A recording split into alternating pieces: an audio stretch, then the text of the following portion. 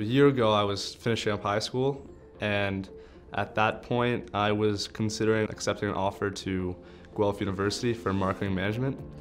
And I was not sure. I, I was looking for something else, of course. Um, and I didn't want to do like a gap year where I would just go on my own. I wanted something structured so that I could actually like have something planned and not just wing it.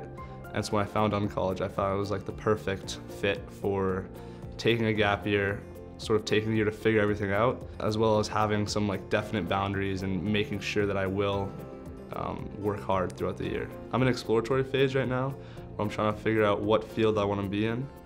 And I'm able to, to figure that out without just committing four years to university.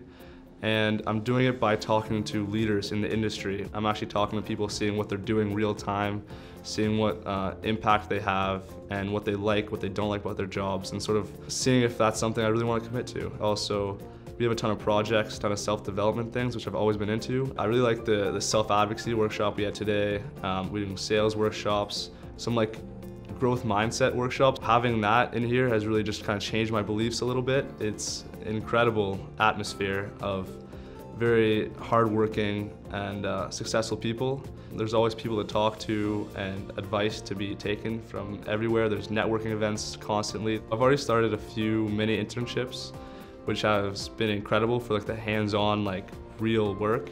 That's like one of the things I didn't like about um, university. It all seemed so arbitrary, just doing this random assignments that only count for a grade. Um, I'm really excited to be actually doing some content management work for a real site that people see and for a real company. I'm gonna get some projects this week and I'm really excited to prove myself.